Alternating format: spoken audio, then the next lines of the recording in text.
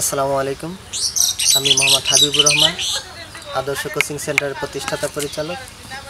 ICT টিভির পক্ষ থেকে আপনাদের সকলকে জানাই আন্তরিক শুভেচ্ছা ও অভিনন্দন। প্রিয় শিক্ষার্থী বন্ধুরা, আজকে তোমাদের জন্য যে ক্লাসটা নিয়ে এসেছি আইসিটির একাদশ ও দ্বাদশ শ্রেণির আইসিটির তৃতীয় অধ্যায়ের প্রথম অংশ।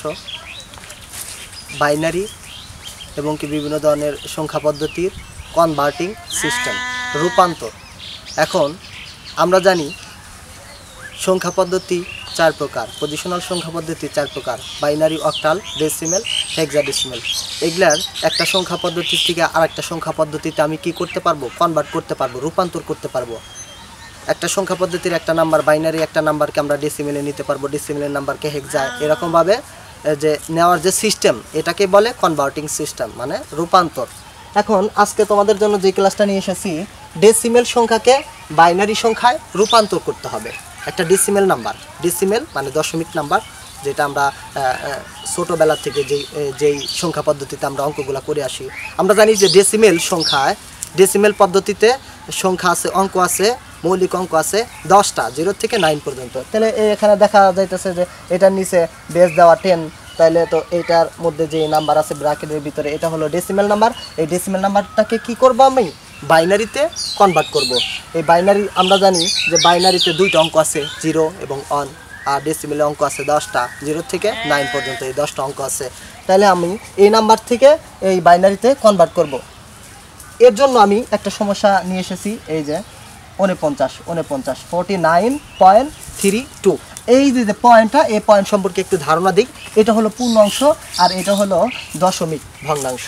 এই পূর্ণাংশ এবং দশমিক ভগ্নাংশের মাঝখানে যে চিহ্নটা, চিহ্ন থাকে, যে বিন্দুটা থাকে, এটাকে বলে রেডিক্স পয়েন্ট এটা দশমিক বিন্দু।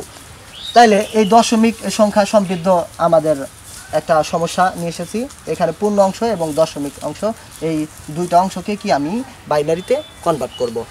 এর জন্য আমি শুরু করি পূর্ণ অংশ পূর্ণ অংশের কাজটা আগে করতে হবে, তারপরে আমরা দশমিকের কাজটা করব।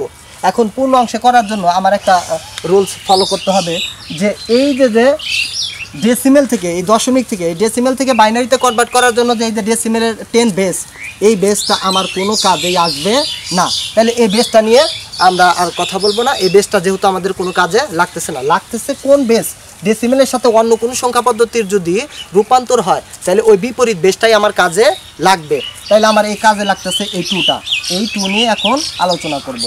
যেহেতু আমার কি এই সংখ্যা পদ্ধতির এই বিপরীত পাশে আছে ইকলের বিপরীত পাশে। আমরা এই জিনিসটা জানি যে যদি কোনো ইকলের এই পাশে, বাম পাশে যদি ইন্টু থাকে, ডান পাশে যাও ওই ইন্টুটা ভাগ হয়। যদি ভাগ থাকে, এই পাশে আসলে কি হয়? গুণ হয়। এই ইন্টু এরকমভাবে হচ্ছে। এর জন্য আমার এই পাশে কি গুণ আকারে আছে? এই এই বাইনারি সংখ্যার এইটার সাথে গুণাকার আছে, এই বেসটা এই টুটা এর জন্য এই সংখ্যার সাথে আইসা কি হবে? ভাগ হবে। পূর্ণ সংখ্যার সাথে ভাগ হবে। আমি তাহলে পূর্ণ সংখ্যার সাথে ভাগটা করে ফেলি। ফোরটি নাইন কী দ্বারা ভাগ করতেছি আমরা? টু দ্বারা ভাগ করতেছি। তো আমার বুঝতে হবে তাহলে আমি সরাসরি ভাগটা করেই ফেলি। ফোরটি নাইন ফোরটি নাইনকে যদি আমি টু দ্বারা ভাগ করি তাহলে কি কি হচ্ছে আমার?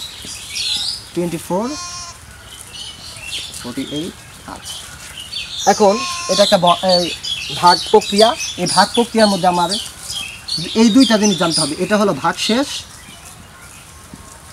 আর এটা হলো আমার ভাগফল। ভাগফল। এই দুইটারই কাজ। আমার কি করতে হবে? যেহেতু আমি ভাগ করছি, এই পূর্ণ সংখ্যাটাকে, এই ফোর্টি নাইনকে বিপরীত বেস এই টু দ্বারা ভাগ করছি, এর জন্য আমার কি করতে হবে? এই ভাগ শেষ সংগ্রহ করতে হবে। কি সংগ্রহ করতে হবে? ভাগ শেষটা সংগ্রহ করতে হবে। ভাগ শেষ কত আমার? হ্যাঁ ভাগ শেষ এখানে সরি ভাগ শেষে এখানে আমার অন হবে। ভাগ শেষ অন হয়েছে আমার এই ভাগ শেষটা সংগ্রহ করছি।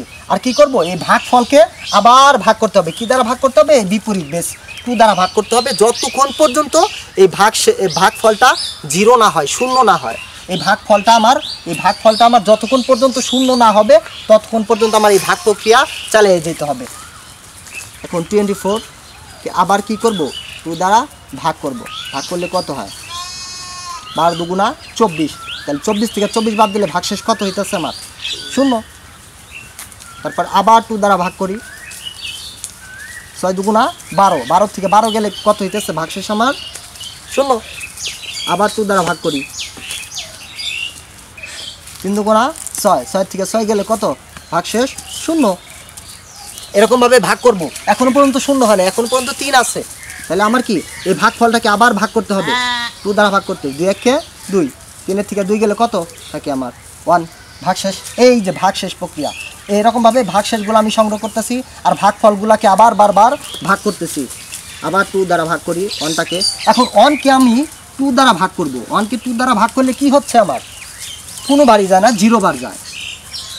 জিরো বার গেলে ভাগশেষ হচ্ছে আমার কত? ওয়ান তাইলে আমার ভাগফল কত? এই এটা হলো ভাগফল। এটা হলো আমার ভাগফল, এই ভাগফল জিরো হয়ে গেছে, আমার মানে কাজ শেষ। আর এই ভাগ শেষটা, ভাগ শেষ আমি অন পাইছি। আমার এই যে যে ভাগ প্রক্রিয়া, এই ভাগ প্রক্রিয়া শেষ হলো। আমি পূর্ণ সংখ্যার সমতুল্য কি পাইলাম আমি? বাইনারি সংখ্যাটা পাইলাম। তাহলে এটা হবে এম এস বি মানে এটা বেশি গুরুত্বের নাম্বার মোস্ট সিগনিফিক্যান্স বিট বেশি গুরুত্বের নাম্বার এই বেশি গুরুত্বের নাম্বার থেকে আমার কম গুরুত্বের নাম্বারে সংগ্রহ করতে হবে। এটা হলো L S B less significance bit L S B less significance bit মানে কম গুরুত্বের নাম্বার। এই কম গুরুত্বের নাম্বারতে আমার যাইতে হবে, এরকমভাবে সংগ্রহ করতে হবে। যাই এই প্রক্রিয়াটা আমি করলাম। আমার পূর্ণ অংশের বাইনারি বের করা শেষ, দশমিক থেকে। এখন আমি ভগ্নাংশের করব। ভগ্নাংশে করার জন্য আমি এই সিস্টেমে এখানে করতে পারি। এখন দশমিক ভগ্নাংশকে আমার কি করতে হবে? এই যে বাইনারিতে রূপান্তর করতে হবে। এখানে আছে বত্রিশ পয়েন্ট থার্টি টু আছে। পয়েন্ট থার্টি টু কী করতে হবে? যেহেতু আমি পূর্ণ একটা পূর্ণ সংখ্যাকে কি করছি? বিপরীত বেশ দ্বারা ভাগ করছি তাইলে আমার অবশ্যই দশমিক সংখ্যাকে কি করতে হবে?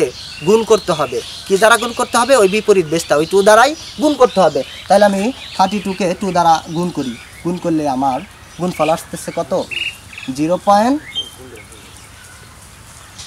six four zero point six four এই জিরো পয়েন্ট সিক্স ফোরের কী করতে হবে? আমার একটা জিনিস মনে রাখতে হবে।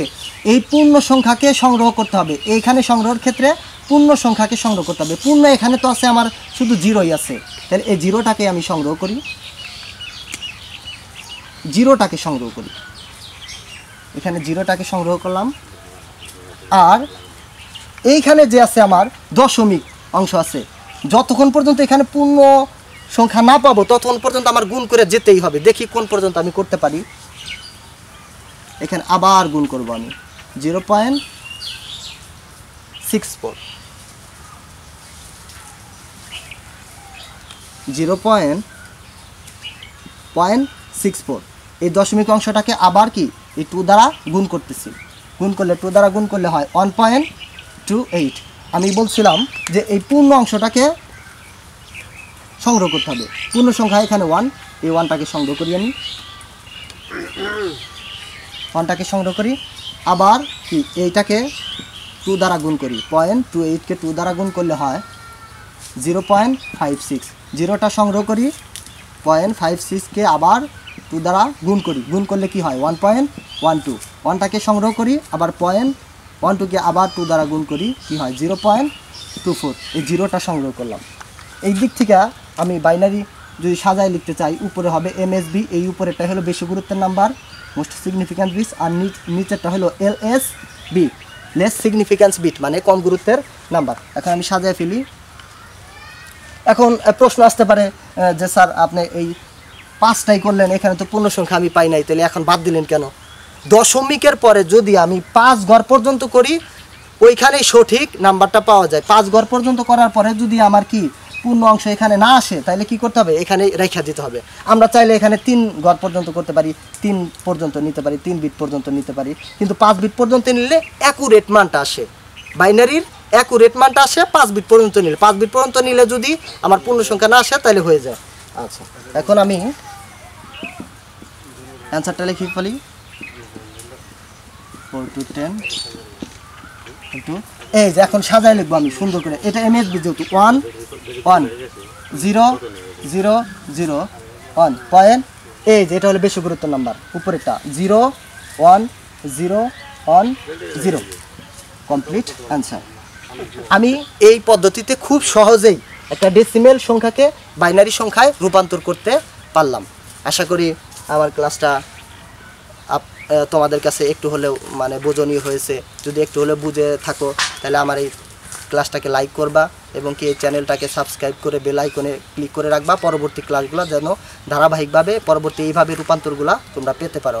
আচ্ছা সবাই ভালো থাকবা, সুস্থ থাকবা। আসসালামু আলাইকুম।